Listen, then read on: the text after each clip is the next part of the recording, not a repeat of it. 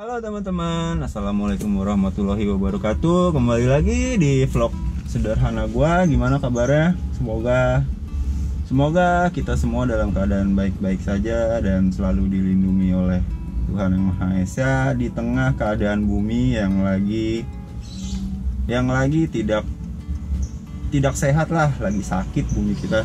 Sekarang hari Sabtu tanggal 18 April udah hampir tiga mingguan ya pemberlakuan work from home itu ditambah sekarang tuh udah udah seminggu uh, seminggu lebih sehari deh sejak diberlakukan pembatasan sosial berskala besar. Kondisi-kondisi kayak gini menyebabkan kendaraan yang tadinya kita sering buat pakai kerja atau buat jalan-jalan menjadi lebih sering sering nganggur cuy. Jadi paling jalan tuh beli beli beli kebutuhan dasar ke pasar atau ya buat beli kebutuhan-kebutuhan dan perjalanan yang urgent lah. Jadi jarang dipakai bahkan mungkin ya dari kalian ada yang kendaraannya sejak diperlakukan work from home itu jarang dipakai mobilnya jarang dipakai yang deket-deket ke mana-mana pakai motor gitu. Dan bahkan mungkin ada yang sama sekali nggak dipanasin. Itu gue jamin aki lu soal kalau aki lu itu udah nggak optimal atau udah lama lah jadi ya bukan berarti mobil yang nggak pernah dipakai itu free maintenance. Tetap harus ada maintenance-nya. Di video ini gue akan sedikit berbagi tentang hal-hal apa aja yang tetap harus diperhatikan sekalipun mobil kita jarang dipakai. Karena ya tadi gue bilang itu walaupun mobil nggak dipakai ya bukan berarti free maintenance. Tetap harus ada yang diperhatiin. Mau tahu hal-hal apa aja saksiin terus videonya. Jangan di skip skip see you. Kalau emang mobil jarang dipakai ya eh terlebih mobil lu mobil tua gini dan dan lu kaum berbahan ya. Ya intinya males lah untuk manasin mobil. Lu bisa cabut kutub negatif dari aki ini. Atau dua-duanya juga boleh tapi kalau mau nyabut usahain kalau maksud gue kalau lu mau nyabut dua dua dua kutubnya ini ya uh, negatif positif. Kalau mau nyabut itu negatif dulu. Kalau mau masang itu positif dulu. Gua biar mencegah nggak shortcut. Atau konslet lah. Dan kalau mobil modern sebenarnya nggak bisa menurut gua sih ya. Kalau gue salah lu kasih komen di bawah aja kalau mobil-mobil sekarang kan elektrikalnya udah banyak tuh. Mobil-mobil Eropa atau mobil Jepang-Jepang zaman-zaman sekarang yang udah canggih-canggih itu. Itu kan mereka udah pakai ECU. Jadi kayak engine control unit semacam otaknya mobil gitu ya. Yang ngatur apa ngatur konsumsi bahan bakarnya terus ya ngatur sensor-sensor di dalamnya sama kayak otak gitu deh.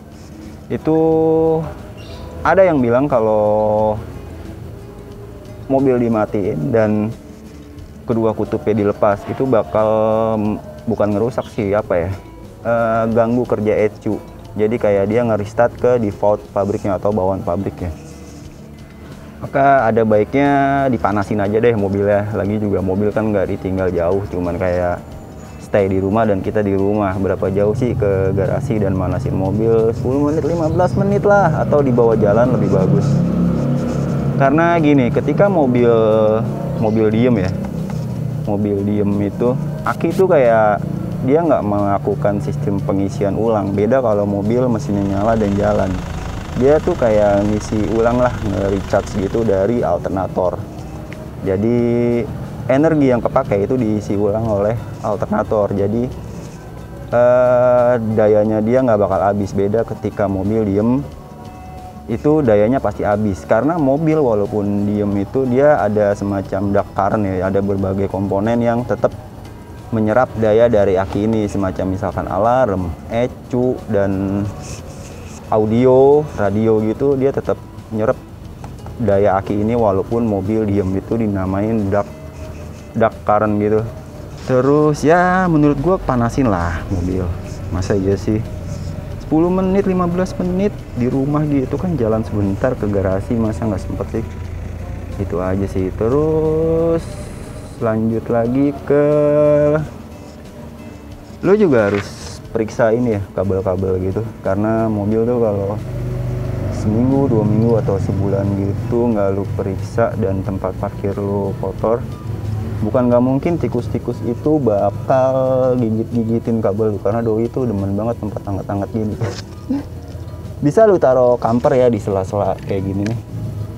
Lu taruh kamper atau di sela-sela gitu dan bisa juga kabel-kabelnya lu olesin minyak kayu putih karena aroma minyak kayu putih tuh doi nggak demen. Jadi mos mos mos. Si tikus tuh nggak demen bau minyak kayu putih bisa lu pakai kuas atau pakai kain lu lu olesin ke ya ke benda-benda kayak gini nih kayak kabel-kabel yang dia demen buat gigit-gigitin. Karena kalau digigit tikus tuh kabel ya. Elektrik elektrik mobil tuh elektrikal mobil tuh bakal keganggu. Itu terus terus ini kita ke ban ya. Nah aki kan tadi udah ya selanjutnya itu ban. Kenapa ban harus diperhatiin? Karena ban itu kan salah satu komponen yang menahan beban mobil ya.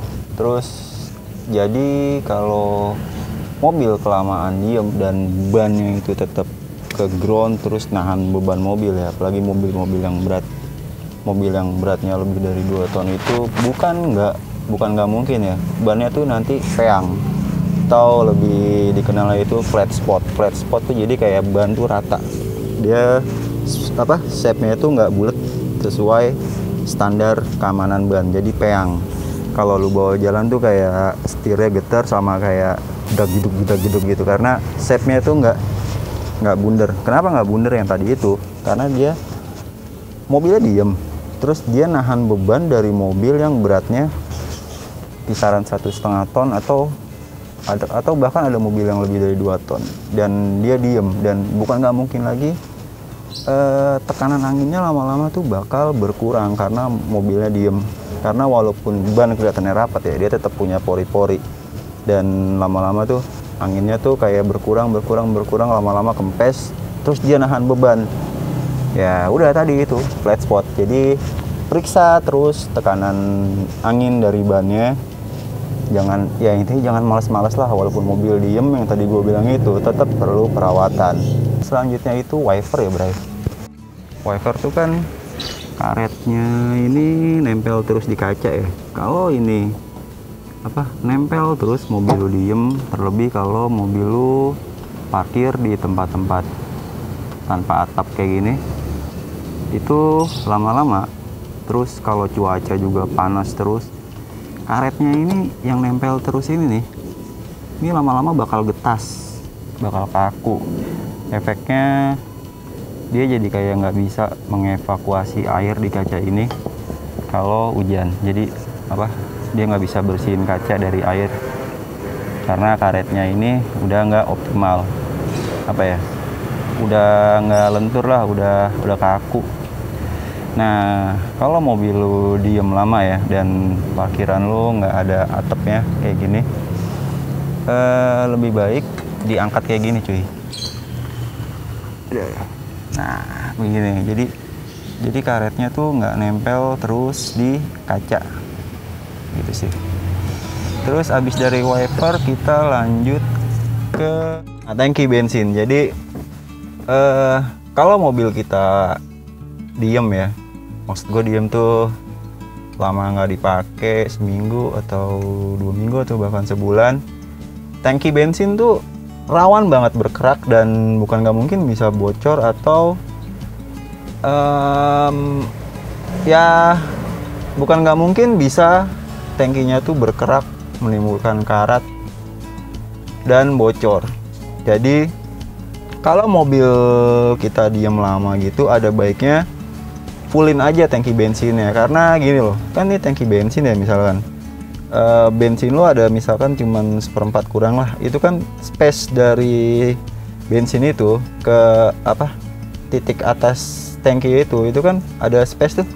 Bukan nggak mungkin kalau udara dingin itu dia mengembun terus ketika panas dia berubah menjadi air dan hal itu bisa bikin korosi atau karatan dan hal yang nggak diinginkan bisa aja kan apa tangki tangki bensin kita bocor karena karatan itu. Jadi ada baiknya kalau emang mobil kita mau parkir dan kita nggak pakai dalam jangka waktu yang lama ada baiknya bensinnya fullin aja. Terus kemudian dari tangki bensin kita ke penggunaan rem tangan ya. Kalau mobil di parkir lama banget pakai banget ya ya seminggu dua minggu atau bahkan sebulan ya dan lu ngerem tangan gini parkir lama gitu itu bukan nggak mungkin nanti ketika lu mau pakai lagi mobilnya itu disc brake itu lengket. Efeknya apa? Efeknya ketika lu ngerilis atau ngelepas rem tangan dan lu mau majuin mobil itu mobil agak ya kayak lu ngerem gitu jadi mampet. Mampet Eh, kalau lu paksa bisa bu- muncul muncul bunyi jeduk gitu. Karena kampas rem itu menghimpit atau menempel lama ke tromol atau ke disc brake. Kalau mobil belakangnya udah disc brake karena biasanya rem tangan tuh apa related tuh ke rem belakang. Bisa ke disc brake atau ke tromol. Dan efek buruknya kalau mobil-mobil yang masih tromol ya kalau dipaksa gitu kampas remnya bisa bisa lepas. Karena bidang kontak tromol tuh lebih lebih panjang ketimbang rem cakram. Jadi kalau kalau menurut saran gue sih parkirlah di tempat yang datar. Kalau misalkan tempat lu nggak datar bisa lu ganjel pakai kayu atau atau apalah yang bisa menahan laju mobil itu. Tapi usahain parkir di tempat yang datar. Dirilis aja rem tangannya nggak usah direm tangan. Terus jangan lupa juga buat nyuci mobil. Kenapa? Karena kebersihan itu sebagian dari iman.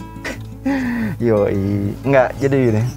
Biar mencegah apa ya kotor lah, biar biar bersih aja mobil enak dilihat dan ketika lo udah nyuci mobil, mobil bersih, usahain mobil dikasih sarung atau di cover ya kalau mobil lo parkirannya nggak masuk ke garasi dan nggak ada atap pelindungnya. Usahain pakai cover body itu biar mobilnya aman.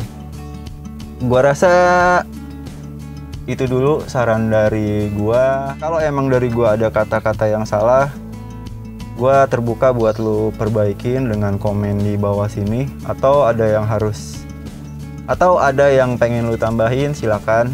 Gua no problem itu dulu kayaknya sih. Semoga kita semua baik-baik saja dalam keadaan bumi yang lagi nggak slow tetap di rumah aja buat yang nggak penting-penting keluar tetap semangat buat para pejuang-pejuang COVID-19 yang sekarang mungkin harus mengorbankan kepenting beberapa kepentingannya ya untuk kepentingan yang lebih luas. You go kill man. Ya udah udah mau maghrib see you sampai jumpa lagi di vlog berikutnya. Semoga kita semua selalu dilindungi oleh Tuhan yang Maha Kuasa. Wassalamualaikum warahmatullahi wabarakatuh. Di rumah aja